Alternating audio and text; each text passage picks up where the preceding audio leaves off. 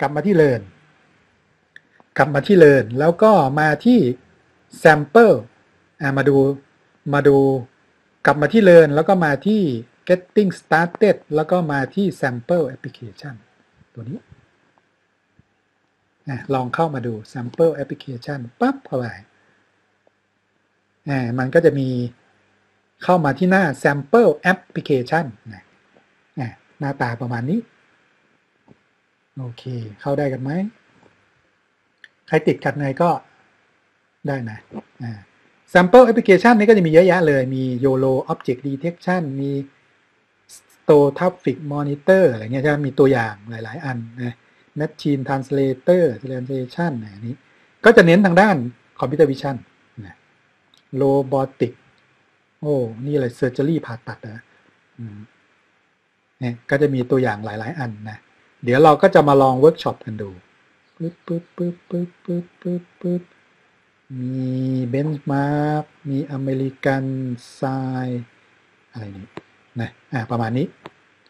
เอ่อเรามาดูที่เอาเรา search ดูก็ได้ search ดูเอ่อ performance performance เราจะเราจะเทียบ performance ระหว่าง GPU CPU อะไรเงี้ยนะสะกดถูกไหม performance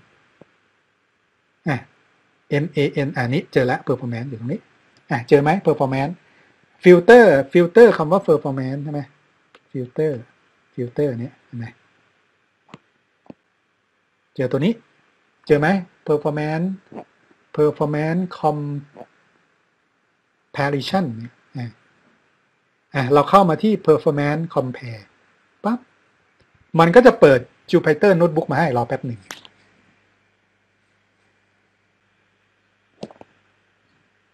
อ่ามันก็จะเปิดตัว Jupyter มันก็จะลิงก์เข้าไปที่ตัว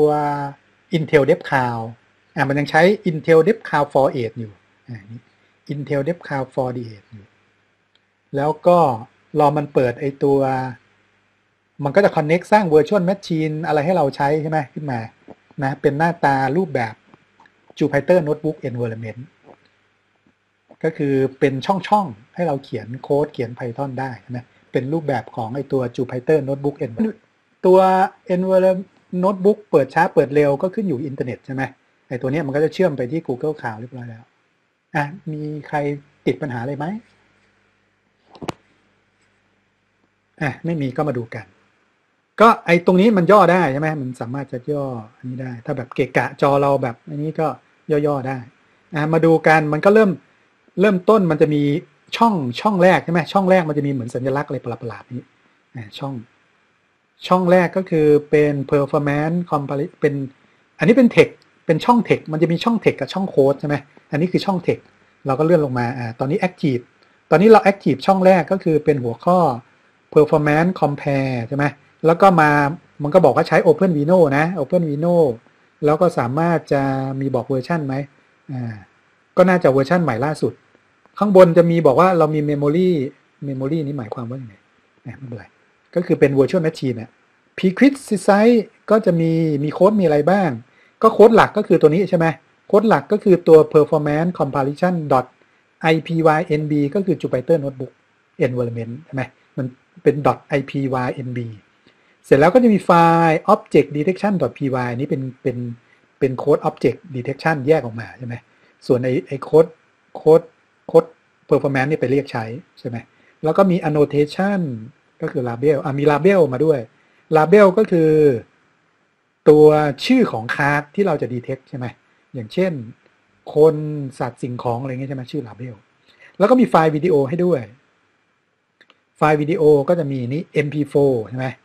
car หนึ่งพันเก้าหนึ่งพันเก้าหมายความว่าไงเนี่ยนะให้มาดูกันปึ๊บอันนี้ getting start intel dev cloud 8อันนี้ก็คือมีลิงก์ reference ไปเข้าเว็บเมื่อกี้ที่เราดูนั่นแหละนะปึ๊บมันมันจะลิงก์ไปลิงก์มาทำให้ดูตาลายอะมา introduction หัวข้อที่ 3 แล้ว มันจะมีไฮไลท์สีเหลืองๆตรงนี้ด้วยใช่ไหมตอนนี้เราเรา active cell ที่ 3 introduction มันก็จะบอกว่า sample application นะ type มันจะมี precision precision ก็คือความละเอียดของโมเดลใช่ไหมความละ ความละเอียดของโมเดล machine learning เนี่ยตอนนี้มันจะมี FP 3 2 FP 16แล้วก็ integer 8 ใช่ไหม FP ก็คือ float point 32 บิต มันจะมี float point 32 บิต มี float point 16 บิต แล้วก็ integer 8 บิต อันนี้ก็คือความละเอียดของโมเดลใช่ไหมถ้าเป็นโมเดล 32 บิต มันก็คือ Data ก็ต้องเป็น 4 ไบต์ใช่ไหม32 บิตก็คือ 4 ไบต์ ถ้าเป็น Data 16 บิต มันก็คือเหลือ 2 ไบต์ งั้น Data 8 บิตมันก็คือเหลือไบต์เดียว ดังนั้นขนาดของโมเดลมันก็จะเล็กลง ความละเอียดมันก็น้อยลงด้วย อย่างเช่น Data 8 บิตเนี่ย8บิตเนี่ยมันจะได้ได้ทั้งหมดกี่ค่า 2 ยกกำลัง 8 ก็คือ 256 ค่า2 256เลเวล แต่ค่าจริง ๆ มันคือ 0 ถึง 255 ใช่ไหม ก็คือ 256เลเวล ดังนั้น precision หรือความละเอียดมัน ความละเอียดของโมเดลก็คือ 256เลเวลใช่ไหมความละเอียด แต่ถ้าเป็น 16 บิตล่ะ ความละเอียดเท่าไหร่ความละเอียดเท่าไหร่ 16 บิต 16 บิตมันได้ทั้งหมดกี่ค่า 64K ใช่ไหม60,000 อะไรไม่รู้จำไม่ได้แล้วก็คือ 64K นั่นแหละนะส่วน 32 บิตล่ะได้ทั้งหมดกี่ค่า32บิตมันเท่าไหร่4,000 ล้านเหรอใช่ไหม งั้นไอตัว4,000ล้านก็หมายความว่า ถ้าเป็นถ้าเป็นพวก32บิตเนี่ยมันจะได้ไม่เกิน4จิกไงพวกไฟล์ไฟล์ Data ใช่ไหมไอไฟล์ Data ที่เป็น FAT32 เนี่ยมันก็คือได้ไม่เกิน4จิกก็ที่มาเนี่ยความละเอียดมันได้ถึง4,000ล้านใช่ไหม4จิกอะนี้ก็คือ precision ของโมเดลงั้นการแปลงโมเดลของตัว OpenVINO เนี่ยมันแปลงได้เป็น precision 32 16 8 ได้เลย อยู่ที่เราจะไปใช้บนฮาร์ดแวร์อะไร ถ้าใช้กับ Movidius หรือใช้กับ GPU เนี่ยเขาแนะนำให้ใช้ 16 ถ้าใช้กับ CPU เนี่ยเขาแนะนำให้ใช้ 32นะนะถ้าไปใช้กับ VPU ก็เดี๋ยวนี้มีโมเดล 8 คือเมื่อก่อนนี้ไม่ค่อยมีโมเดล 8 เดี๋ยวนี้มีโมเดล 8 บิตเพิ่มขึ้นมาเยอะขึ้นนะนะโอเค ต้องดูด้วยว่าฮาร์ดแวร์ support หรือเปล่าโมเดล 8 บิต บางฮาร์ดแวร์ไม่ support นะอย่างของค่าย Google เนี่ยค่ายตัว Coral เนี่ยมัน support integer 8 เลย โมเดลมันเน้น integer 8เลย16 32อืม32นี่ไม่ support แน่นอน แต่16นี่ไม่แน่ใจ เพราะไม่เคยใช้ แต่ว่าในเอกสารเนี่ยเขาบอกว่า support integer 8เลย เน้นที่ integer 8เลยนะนะโอเค Key Concept ก็เป็น Video Analytics ใช่ไหมใช้ OpenCV มี Visualization มีสร้างบล็อก หรือก็เรียกเป็น bounding box ไอ้กรอบสี่เหลี่ยมนี่ใช่ไหมแล้วก็มีแบบ async mode ก็คือ async mode นี่มันอะไร async mode ก็คือไม่ซิงกับเฟรมใช่ไหมก็คือ detect เสร็จก็ข้ามข้ามมาเลยใช่ไหมปึ๊บปึ๊บปึ๊บอ่าแล้วก็ใช้ Open Vino Toolkit ใช่ไหมอ่าปึ๊บปึ๊บปึ๊บอ่านี่ async API เขามี API จัดการให้มันใช้ async API มันก็จะทำงานเร็วใช่ไหมเพราะมันมันไม่ต้องรอซิงใช่ไหมอ่าปึ๊บปึ๊บปึ๊บมาอ่านี่ปึ๊บปึ๊บปึ๊บอ่าแล้วก็มามาหลักของเราก็คือข้อข้อที่ 4 ตัวนี้นะ ไอตัว API นี่ไอตัว async API นี่เหมือนเป็นเป็น performance อะใช่ไหมนะส่วนไอตัวหลักที่จะทำกับ object ทำกับ machine learning ก็คือตัวนี้ โอเค object detection ก็คือก็จะมีตัวโมเดล มี preprocessor preprocessor ก็คือจัดการเฟรม จัดการวิดีโอเข้ามาก่อนจะย่อขนาด จะอะไรพวกนี้ใช่ไหม pre processing ก่อน แล้วก็เอามาเข้าโมเดล หรือเราเรียกว่าเป็น inference model ใช่ไหมอันนี้ก็จะมีรูปแบบตามนี้ อะไรตำแหน่งออกมาเอารูปเข้ามาประมาณนี้ แล้วก็ post processing ก็คือพอ inference เสร็จแล้ว ก็เอามาแสดงภาพ visualization โชว์กรอบโชว์อะไรพวกนี้ใช่ไหมอันนี้ก็เป็น post processing แล้วดังนั้นการทำงานก็จะประมาณนี้ pre processing inference แล้วก็ post processing ไอ้ตรง pre processing ก็เกี่ยวเนื่องกับไอ้ตัว async API ด้วยใช่ไหม async API ทิ้งตรงนี้นะมี synchronous กับ async synchronous อันนี้ลึกๆ ไปศึกษาเพิ่มเติมกันเองใช่ไหมว่าจะใช้แบบไหนดี แต่เขาก็ใช้ async กันส่วนมากใช่ไหมปึ๊บปึ๊บมาที่ตรงนี้ คราวนี้ก็มาลงที่ config อ่า config ก็คืออันนี้ run code ละ run code ก็คือมี command line python 3 object detection แล้วก็ใส่ค่าเข้าไปใช่ไหมก็คือมีขีด m ตัวเล็กไปแล้วมันหัวข้อ 4.2 ใช่ไหม config อ่านี่ 4.2 config ปุ๊บอ่านี่คลิกที่ตรงเมนูนี้ก็มันก็จะมา มีขีด m ก็คือเลือกใช้โมเดลใช่ไหมขีด i ก็คือวิดีโอไฟล์ label ขีด o ก็คือ output เซฟเป็นวิดีโอไฟล์ได้ งั้นเราก็สามารถเซฟเป็นวิดีโอไฟล์แล้วก็ จะดาวน์โหลดมาจากไอ Jupyter Notebook นี่ดาวน์โหลดยังไง น่าจะดาวน์โหลดได้ ปกติผมใช้บน Colab ไง มันก็จะง่ายกว่า แต่ตอนนี้เราใช้บนไอเดฟคาวมันเป็นเป็น Jupyter Notebook ตรงๆอะ มันก็แบบ บน Colab มันจะใช้ง่ายกว่านะของ Google อะแต่ตอนนี้เราใช้ Jupyter Notebook แบบดั้งเดิมบน Intel Dev Cloud อะแล้วก็เลือก device ได้นี่ไง เลือก device เป็น CPU เป็น GPU เป็น Mileage Mileage ก็คือตัว Intel Neural Stick นั่นเองอ่านี่แล้วก็เลือกได้ว่าจะใช้ async API หรือเปล่าประมาณนี้ตึกตึกตึกตึกด่านเดี๋ยวเราก็จะรันโค้ดกันอ่านี่ label file โมเดลตัวนี้เขาจะ pre-train โมเดลมาให้เป็นโมเดลแบบว่า เป็นโมเดล 20 คาร์ดหรือ 20 วัตถุใช่ไหมเนี่ย 20 วัตถุ label อตัว 20 วัตถุนี้เขาเรียกเป็นโมเดลแบบ มันจะมีชื่อเรียกถ้าโคโค่นี่มันจะเป็น 91 วัตถุใช่ไหมที่เป็น data set โคโค่แต่ถ้า 20 วัตถุนี่มันเป็นชื่ออะไรใครจำได้มั้ย20 วัตถุ เป็นอะไรนะอะช่างมันไงโอเคนี้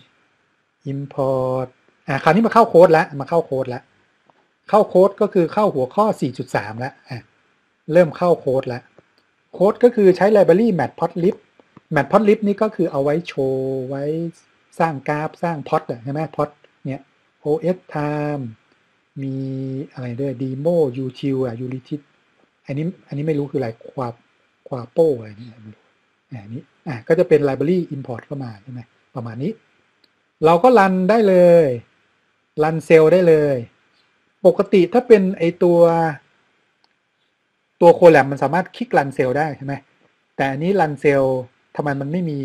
ของใครมีมีมีมีมีคลิกข้างหน้าปะไม่มีเหรอถ้าไม่มีก็รันตรงนี้เลยปั๊บเนี่ยมันก็จะรันช่องที่หนึ่งพอรันเสร็จปุ๊บมันก็จะบอกว่ามีเลขหนึ่งขึ้นมา ก็เราก็รันช่องที่หนึ่งเรียบร้อยแล้วใช่ไหมเนี่ยรันช่องที่หนึ่งเรียบร้อยมันก็จะมีเนี่ยมันก็จะมีไฮไลท์ขึ้นมาด้วยว่าอ่ารันเรียบร้อยแล้วถ้าแดงๆอยู่มันก็ยังรันอยู่ อ่ารันช่องที่หนึ่งเรียบร้อยแล้ว code cell อันนี้คือ code cell ใช่ไหมคราวนี้มา text cell แล้ว text cell ก็คือรันผ่านๆไป ไม่ได้ทำอะไร หัวข้อที่ 4 แล้วอ่าแล้วเราก็เริ่มดาวน์โหลด อันนี้ยังไม่เริ่มดาวน์โหลด อันนี้แค่พิมพ์เอาว่าสามารถดาวน์โหลดโมเดลอะไรมาได้ดูบ้างคือเขามีเตรียมเตรียม P10 โมเดลอะไรให้บ้างสำหรับไอตัว Intel DevCloud เนี่ยไม่ใช่ Intel DevCloud หมายถึงว่าตัว Intel AI เนี่ยเขามีเตรียม P10 อะไรให้เราแล้วบ้าง เดี๋ยวเราก็จะดาวน์โหลดมาลงที่ Intel DevCloud หรือมาหรือดาวน์โหลดมาลงโค้ดเราตัวเนี้ยนะอะลองรันดูปึ๊บมันก็จะพิมพ์ออกมานี่ไงอันนี้อันนี้จะเป็นพวกโมเดลที่เขา pre-train มาให้เราแล้วใช่ไหมอ่ามี BERT BERT นี่มันเป็นพวกอะไรนะเอ่อพวก NLP เป็นพวกเทคมั้งใช่ไหม BERT เนี่ยอ่าแล้วก็มา Face Recognize เนี่ย Face Detection ใช่ไหมมี Handwriting สามารถ อ่านี่ก็เป็น Object Detection ใช่ไหม Handwriting Japanese อะไรเงี้ยมี pre-train โมเดลเยอะเลย Human Pose Estimation ก็จะเป็นท่าทางคนใช่ไหม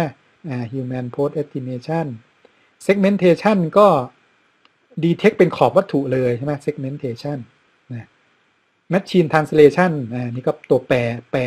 แปลภาษาใช่ไหมโอ้มีภาษาเยอรมันภาษารัสเซียอะไรด้วยยังไม่เคยใช้นะ P10 เดี๋ยวนี้มีเยอะมากเลย น้อย มี pedestrian pedestrian ก็คือคนเดินไปเดินมาเนี่ย detect คน detect อะไรรถยนต์นะ detect person นี่เต็มเลย person นี่เพียบเลย